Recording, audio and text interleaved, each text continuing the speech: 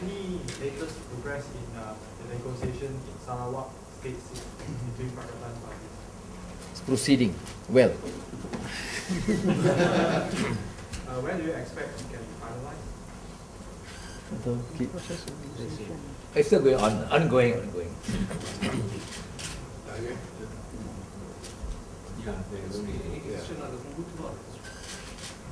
Dia uh, tapi uh, Wabi Nasar boleh tambah. Tapi kita terikat dengan apa yang kita persetujui yang saya baca tadi.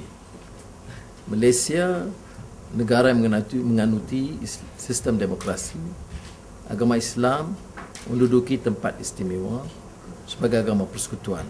Sementara hak agama lain dijamin. Kemudian kita juga bincang masalah pertindihan sistem perundangan sivil dan syariah jadi kita setuju membentuk Suruhanjaya Diraja untuk mengkaji semua isu ini. Uh, selain daripada memperkukuh institusi yang ada, menganjurkan dialog. Tapi dalam konteks perbincangan hari ini, tadi rakan-rakan pimpinan menyebut di antara lain bahawa uh, Pakatan Rakyat ini adalah gabungan kerjasama erat muafakat di antara tiga parti kita mesti bagi ruang kepada masing-masing parti mengungkapkan pandangan mereka uh, cara bebas ikut prinsip dan dasar parti masing-masing. Tetapi dalam Pakatan Rakyat kita terikat dengan uh, konsensus persefahaman yang terme, yang kita meterai bersama tahun lalu. Yang sebahagiannya saya bacakan. Waktu kita mula menubuhkan uh, pakatan kita sudah sedar ya, terdapat perbezaan uh, dari segi ideologi dan kefahaman dalam parti-parti politik yang bergabung. Uh, jadi kita menghormati perbezaan itu tapi seperti mana yang dinyatakan oleh Muhammad Datuk Seri tadi dalam konteks semangat pakatan sebarang perubahan itu ataupun apa pun yang dilakukan mestilah dalam kerangka pakatan itu sendiri. Ya mungkin tiap satu daripada parti-parti dalam komponen ini mempunyai uh, pandangan-pandangan tersendiri dalam dalam hal-hal tertentu tapi apabila ianya melibatkan pendirian bersama Pakatan Rakyat ianya akan dibuat perubahannya hanya dalam dalam dalam semangat konsensus pakatan. Uh, uh,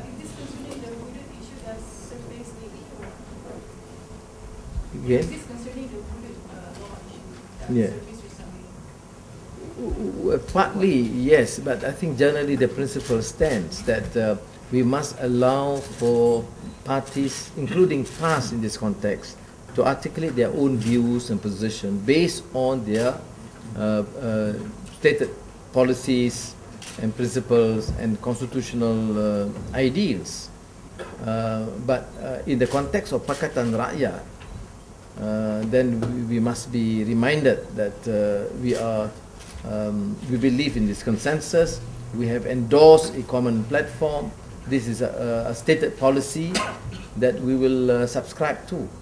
Uh, if there are any uh, specific proposal, uh, I don't think we should um, deny the right of any uh, representative or leaders to present their case. But as it stands, it is resolved amicably based on the agreed document. Ya, dan uh, isu ini hanya isu ini mainan media AMNO nak tutup kes 52 bilion yang hilang.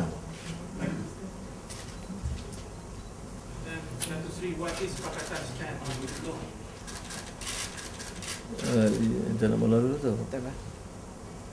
Dia isi apa apa masalah apa hudud lo? Masalah apa Pakatan stand? Uh, orang Islam dia uh, faham uh, isu uh, hudud perintah Al-Quran. Yang nak tanya ni siapa UMNO? Apa pendirian UMNO tentang hudud dan Islam dan syariah ni? Apa pandangan UMNO tentang kemukakan lesen judi yang baru? Apa pandangan UMNO tentang rasuah yang berleluasan? Apa pandangan UMNO tentang uh, perompak masalah sosial dan rompakan uh, bilion wang Bumi Putra? Itu isu dia. Jadi dia nak bawa ini sebagai satu beban dalam uh, Pakatan Rakyat. Saya dah sebut dalam Pakatan Rakyat kita ada dasar. Jadi uh, kalau ada orang nak bangkitkan isu uh, apa pada-pada uh, yang spesifik mengenai hukum Islam termasuk hudud. Hudud ini satu cabang penting daripada prinsip syariah yang lebih menyeluruh. Jadi kita um, ada dalam ruang kita uh, untuk uh, pertama dialog, bincang dan kemudian uh, rojok kepada Suruhanjaya yang menyentuh ke, kedudukan bidang kuasa dan uh, cara hidup umat Islam. Jadi saya ingat itu bagi bagi kita dia bincang tadi dia tak adalah masalah uh, seperti mana ini gembar gemburkan di luar. Nanti yang ni lebih baik kalau uh, NASA ke Mustafa tambah sikit. Kenyataan telah pun dikeluarkan oleh uh, Setiausaha PAS berkenaan dengan isu yang yang uh, digembar-gemburkan dalam media yang terkini. Dan uh, pendirian kita seperti mana yang disebutkan tadi lah atas dasar semangat menghormati antara satu sama lain uh, walaupun kita berbeza pandangan dalam isu-isu tertentu.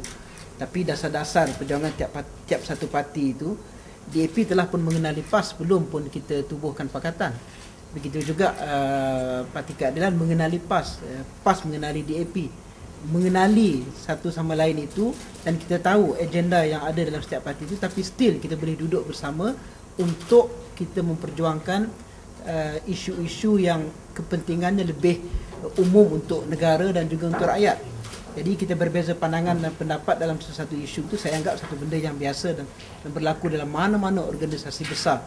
Apatah lagi uh, organisasi yang yang yang bakal uh, menerojai kepimpinan negara dalam tempoh yang terdekat seperti Pakatan Rakyat. Mustafa. Okey.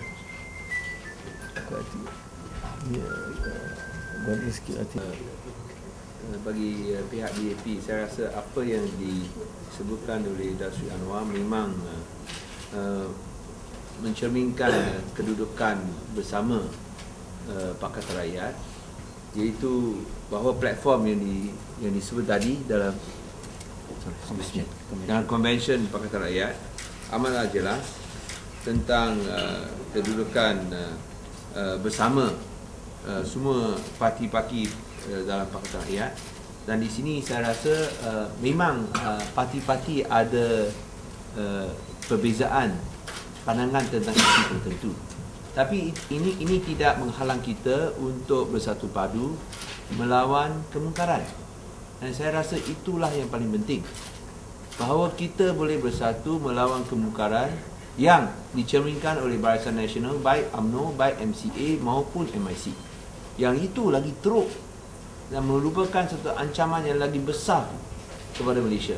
Dan uh, seperti yang disebut oleh Tan Sri Anwar, kita lihat mereka cuba mainkan uh, cuba cuba apa ni cuba, cuba uh, api-apikan uh, sentimen perkauman supaya mereka boleh tutup pilihan dan juga skandal 52 bilion ringgit saham di mana sepatutnya kalau ia diberikan kepada uh, golongan bumi putera atau Melayu yang miskin saya rasa rakyat tentu lebih senang tetapi sekarang daripada 54 bilion yang diberikan tinggal 2 bilion saja hmm.